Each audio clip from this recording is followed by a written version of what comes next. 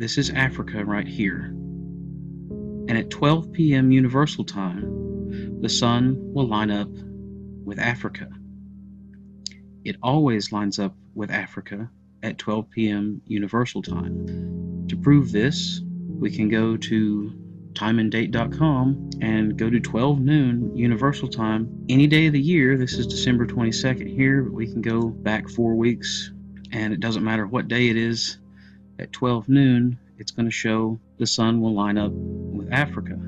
December 22nd at 12 noon, it shows the sun right here. The Earth is rotating. It takes 24 hours to make one full rotation for the Earth to go all the way around back to the point it started at.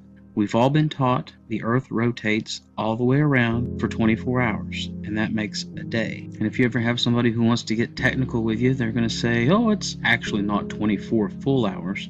But tell that to every clock you've ever had, because every clock I've ever had or seen counts 24 hours a day, seven days a week. The only time we ever change any time is when we fall back or spring forward, and that's just an hour and it kind of balances out. So I want to take a look at 12 p.m. Universal Time because that means the sun is directly in line with Africa, and it's always directly in line with Africa, like I've just shown. This day in particular I've got pulled up is December 22nd. December 22nd is the winter solstice, and as you can see, right here would be Africa, and it's in line with the sun, just as it should be. December 22nd during the winter solstice at 12 p.m. Universal Time, this is correct. The sun would be directly overhead. If you notice though, during the winter solstice, the sun would be to the east or to the right of Earth because we're going around the sun as well as rotating. Well, if we look at this, it shows December 22nd at 12 noon. The sun is exactly where it should be, and that's where it always is. This is June 22nd at 12 noon. The sun is still exactly where it should be. It's still right above Africa. Here's the problem. On June 22nd, during the summer solstice, Africa, if we are rotating in 24 hour periods, unless something has changed somewhere and changed drastically, like somehow we have lost or gain 12 full hours, Africa is facing space. It won't be facing the sun. If we are living on a globe and the globe is rotating in 24 hour periods every day, just like all of our clocks say, every clock you own counts 24 hour days, and presumably each and every day when it's noon in your time zone, wherever you live, the sun is supposed to be directly above you. Yet what we observe here is this is correct, but this completely falls apart as our Earth going around the sun gets to the opposite side of the sun. When the sun is to our west or to our left and not on the east or to our right, it's the opposite the sun will be lighting up this half of the earth, not this half of the earth. Presumably, all of these earths on this picture is at the same phase of their rotation around the axis because we can see the same thing. Right? If it's 12 noon universal time over here, it should be 12 noon universal time over here too. Except for Africa is facing space. So it's like Africa is at midnight and it's not facing the sun.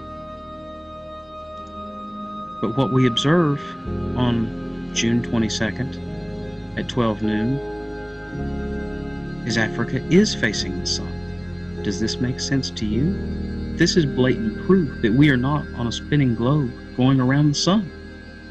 We can't be.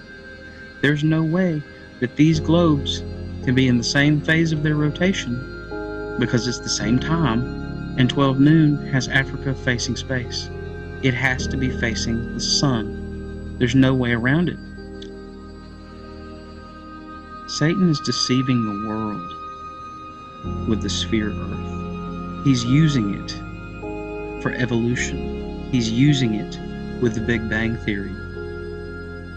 He's going to be using it for the aliens that are soon to come, I'm sure. He doesn't want people to have a need for God. He doesn't want people to have a need for a creator. He wants it to all be random. This to me proves that we are not spinning. Unless somebody is breaking in all of our houses and changing all of our clocks like four minutes a day each night, so somehow it's midnight for Africa over here, then the globe's a lie. And it has to be, and there's no way around it. Please, if there's a way around it and you can debunk this, make a video and show us all how this is incorrect.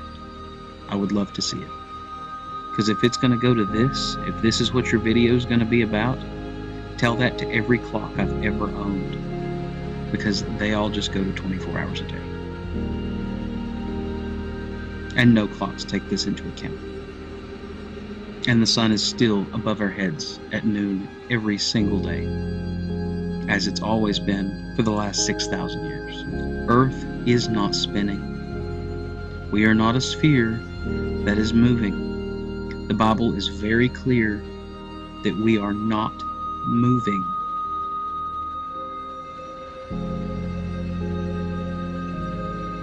Realize that Satan has deceived the whole world.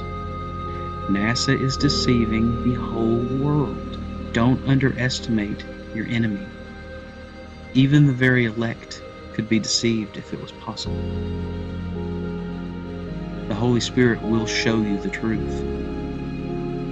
He's honestly trying to tell us that we are going uh, over a million miles an hour right now. Look outside.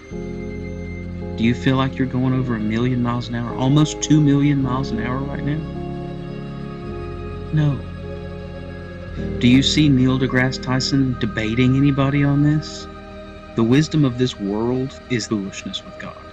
And I'd be willing to bet that the wise that is taken in their own craftiness is the very wise that are living today. And that are telling you that you're on a spinning globe and that you came from a monkey when nothing exploded billions of years ago into a bunch of perfect spheres. I mean oblate spheroids. I mean pear shaped. planets. The Bible holds the truth, and it always has. Thanks for watching, guys.